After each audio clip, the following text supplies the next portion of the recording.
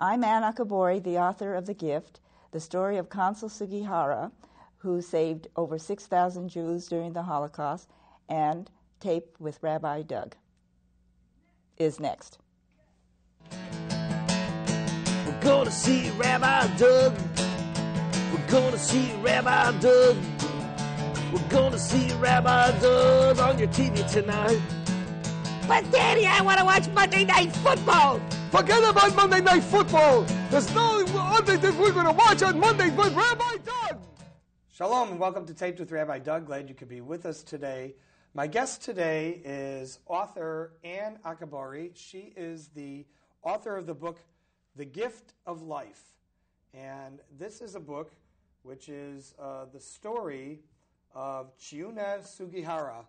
And uh, Sugihara was um, the council, the deputy consul to Lithuania during World War II. Um, It was prior to World War II. from prior to World War II uh, into World War II, and he was actually uh, credited with saving thousands of lives. Over 2,000, I believe, is, is a number that I that I saw. Is there an actual exact number? Uh, there is not an exact number, but the exact list consists of 2,139 names. 2,139 But that's names. not the whole story because on that list, each name could have stood for three or four people because, because Families. it in, included the families. So the best estimate would be over 6,000. Over 6,000 people Yes. from those two. I didn't know about the names being over 2,000. Over 6,000 people. And um, Chiune Sugihara, in his position of deputy consul to Lithuania, um, was approached by mainly Jewish uh, refugees who were scared not only of the Russian occupation and control of Lithuania, but of the possible and eventual, obviously, uh, German occupation as, as World War II uh, you know, came to a head in Lithuania. And at the same time, uh, probably maybe the worst country for anti Semitism in all of Europe possibly was Lithuania at that time. So he really uh, did save lives, obviously, that, that would have died in the Holocaust. Um, certainly, the people, uh, the rest of the country uh, who did not get out, who he wasn't able to save, almost every single one of them lost their lives uh, from the Jewish population and of those uh, non-Aryan, I don't know how, to, how else to put it, i- in those times, uh, population who, who were kind of ignored by Hitler's army when they came into power. Um, and y- your book, The Gift of Life, tells the story of, of uh, Sugihara, and your connection to him is really through his son. Is that correct? Yes, it is. How did you get to know his son? His son passed away since? He has. He passed away in the year 2001 from cancer. And what was his name? His name was Hiroki, but his to the last day before he passed away, his mother always called him Puppe, which in German means little doll, which was quite embarrassing for him when he would have guests and suddenly his mother would pop up and say Puppe, and, and if anyone understood German, that means little doll. And how did he get that name?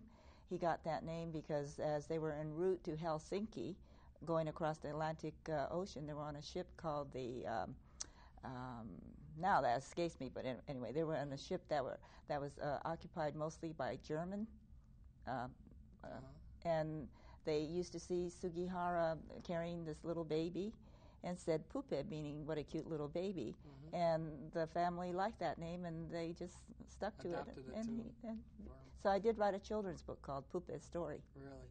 So, um, your connection to him, you became very good friends. He came to a school in, in, in the town where I grew up, And where's that? Sacramento, California. Sacramento. Now, you're Japanese American, is that yes, correct? Yes, I am. I'm third generation. Third Japanese. generation.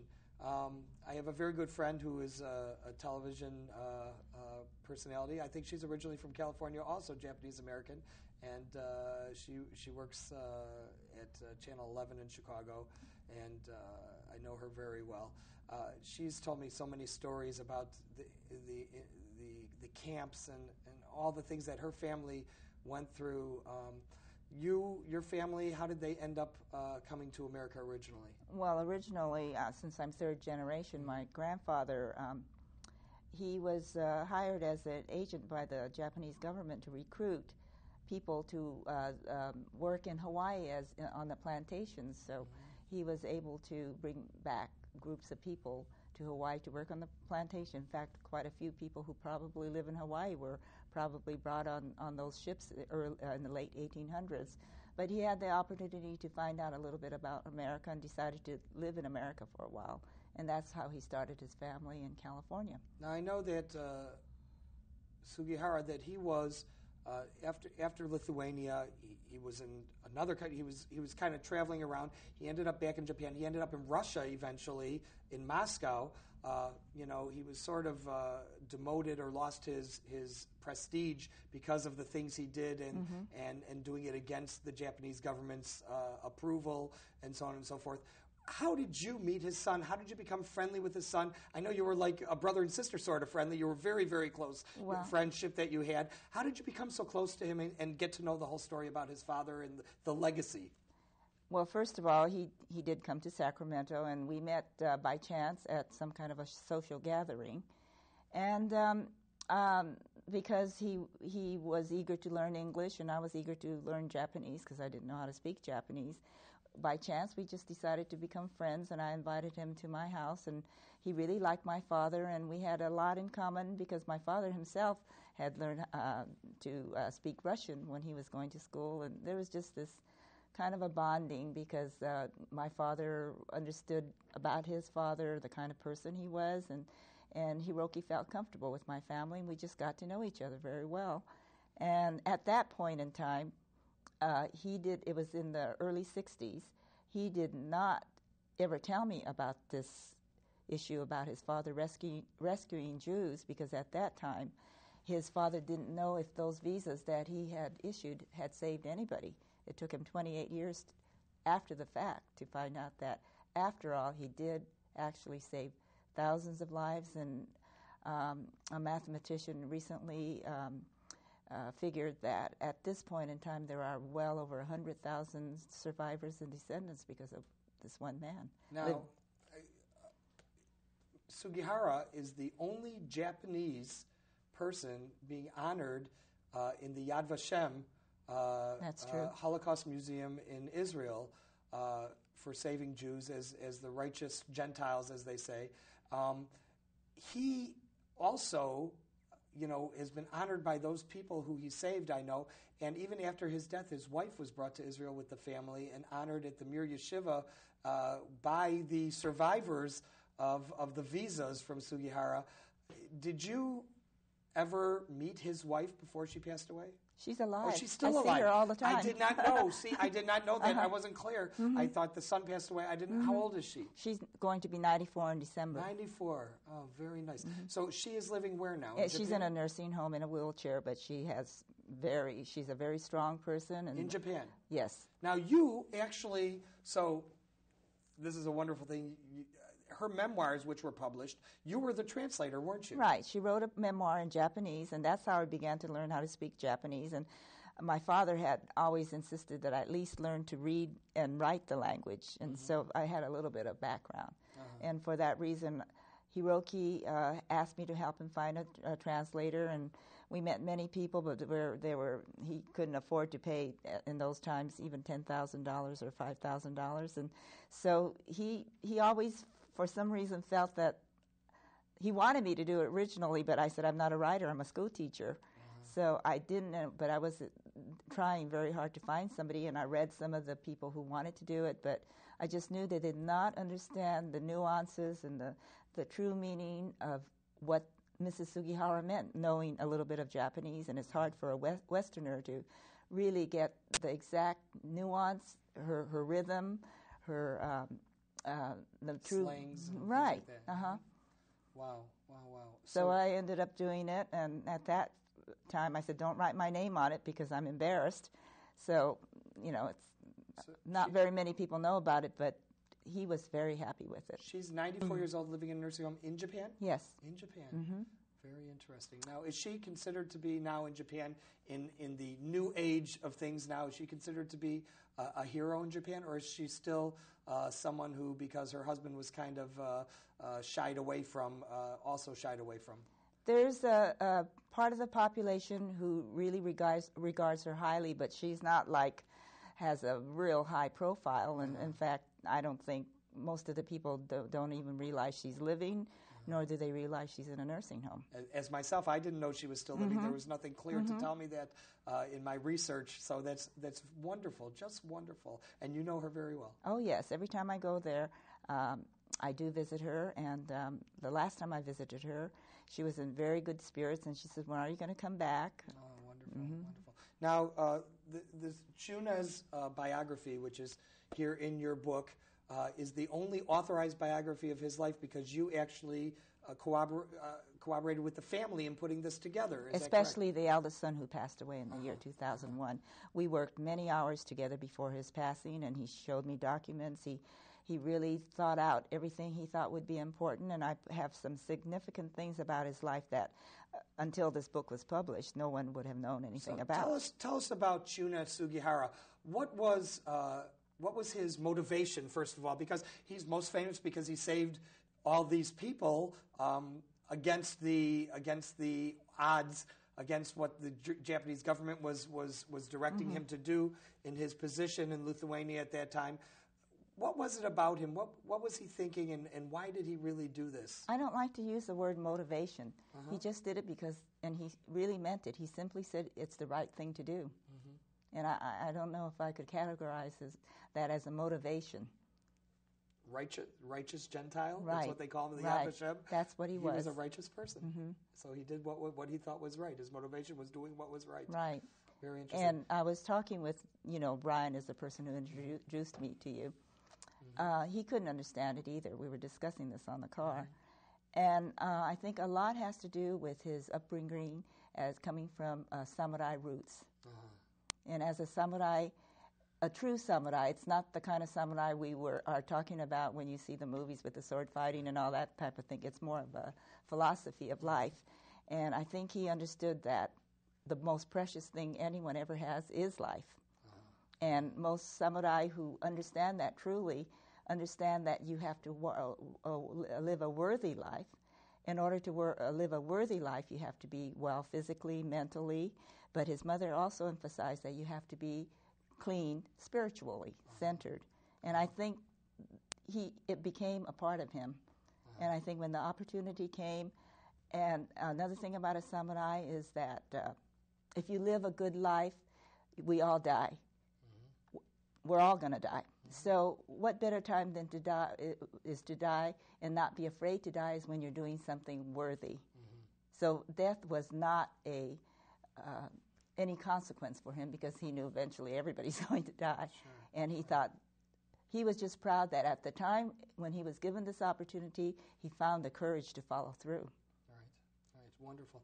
I, you mentioned Brian, and I, wa- I want to mention Brian also. So I grew up uh, with Brian Pikelny. We are childhood friends. We grew up uh, on the same street in the same neighborhood, and his father Leon, and we're family friends from the same synagogue. And growing up, um, was saved by a visa from Chuna Sugihara, and uh, it's just to have someone who I know who actually is a descendant, uh, the son of a survivor in, in that uh, pretense is, is, is just an amazing thing. And I know Brian is the one who introduced me to you and, and brought you here. You spent the day with the Israeli consulate, with the Japanese consulate today. Um, do you travel around uh, meeting with uh, consulates in different cities and Whenever I different have the areas? opportunity to let them know what I'm doing. So tell me, tell me what But you're could doing. I get back to uh, Brian Oh, right please now? do, please do. Because, you know, the title of my uh, book is The Gift. Mm-hmm. Brian is one of the, the gifts. He, there, I see how well he takes care of his, his father. He goes there every day to visit him. He took off two days from his job to drive me around. And it is, it's, that's also a gift. He may have given the gift of life, but because of people like Brian, you know, he goes to his work every day and he do, does his job he's really a gift to his father. It's it, the whole thing is a, if you think about it, you know, because of life. And it's significant that I, I'm bringing the story to this area because I would say, including Brian and his family, there are some uh, very stellar people who were saved by Sugihara, like Leo Melamed, who was Mm-hmm. involved with the uh, Chicago Mercantile Exchange, and I don't know if you know about uh, uh, Samuel Zell, his family. He, they're pretty well known. Mm-hmm. His family and a very good friend of mine. Uh, his name is um, Rick Solomon, I've met his children. Definitely, if uh, Sugihara were alive and were able to meet them, he would say, This was really a gift.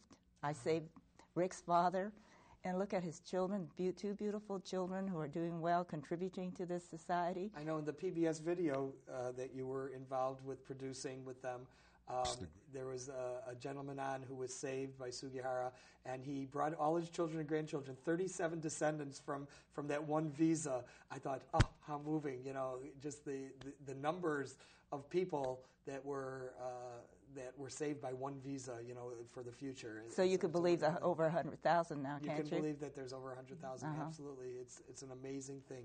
You are the founder of an organization called Visas for Life Foundation. Actually, the eldest son is the founder, and I helped him. You together did mm-hmm. that? Uh-huh. And after okay. he passed away, I, I inherited the, the uh, volunteer organization. Uh-huh, uh-huh. And the idea of, of the foundation is to perpetuate the humanitarian legacy of Chiune Sugihara and, and what he did. And tell me, what does the organization do now in, in its uh, existence, Visas for Life Foundation? Well, we think that his life story is like a role model for people to listen to and remember. It also is a good story for uh, Holocaust deniers. Mm-hmm. Coming from somebody like that, he has no nothing to gain by saying all this happened. And I, I understand even in, in the, my town, we had an incident about Holocaust deniers, and an s- amazing story like that weakens anybody who has any point of saying that. But more than anything else, I think that. Uh, I, you've heard this cliche quite often one man can da- make a difference, and this story clearly shows that. Mm-hmm. Well, I'm here uh, with Anne Akabori. She is the author of The Gift of Life, the story of Chiune Sugihara. And uh, we're here on Taped with Rabbi Doug, and we'll be right back in just a moment. Don't go away. Taped with Rabbi Doug. We'll be right back. Finally, at the end of July 1940, Sugihara agreed to issue the transit visas. For the next four weeks, Sugihara worked tirelessly to fulfill their requests, issuing hundreds of transit visas a day. I'd say more than half of them had no passport. Under the conditions they had to deal with when they left their homeland, it seemed understandable. So we accepted anything even blank sheets of paper with Curacao, no visa required, handwritten as a destination. I'm meteorologist Rick DeMaio, and you're watching Taped with Rabbi Doug.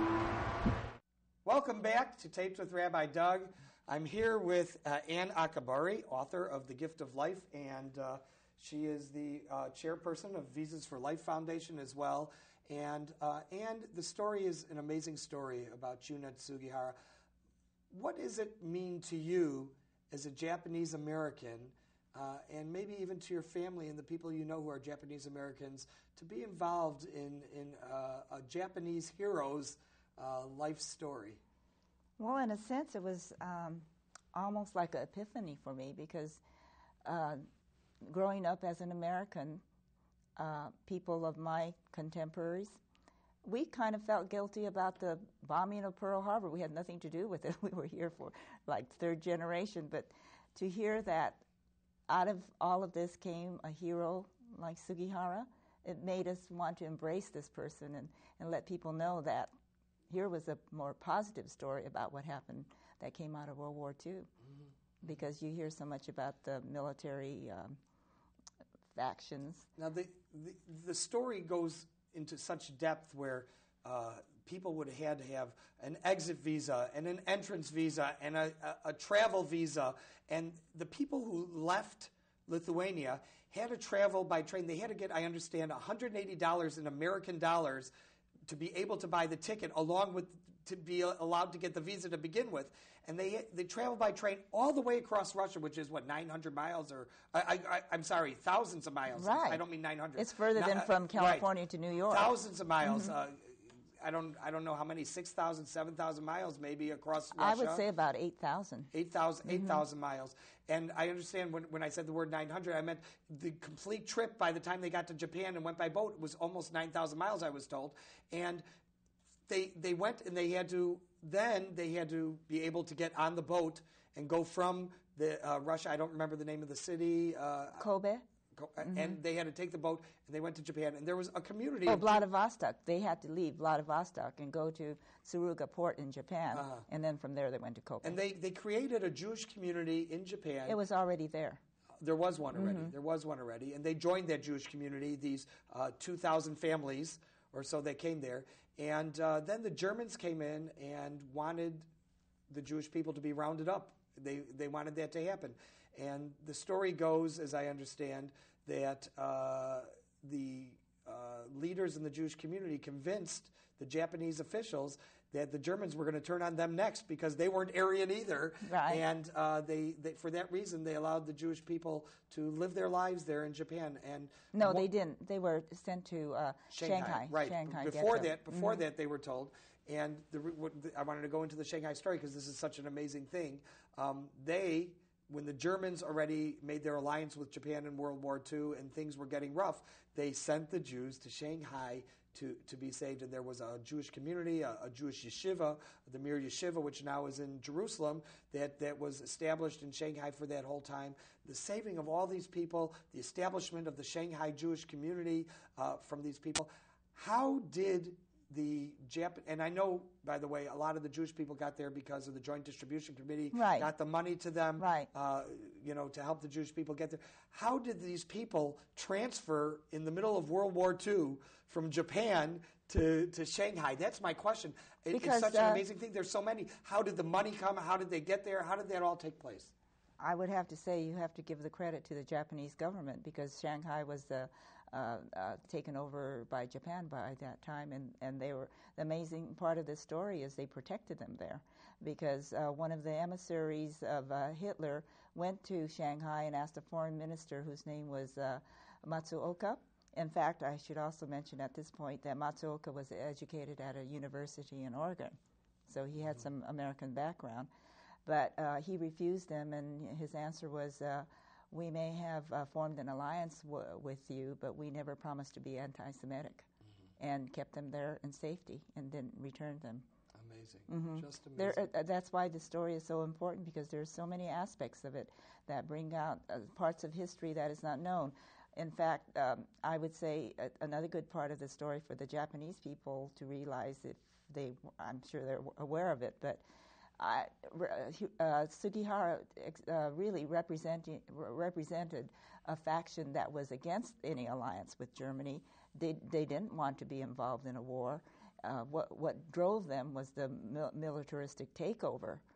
And when Sugihara, another aspect of his, he always believed that as a representative of his government, he was actually representing the people.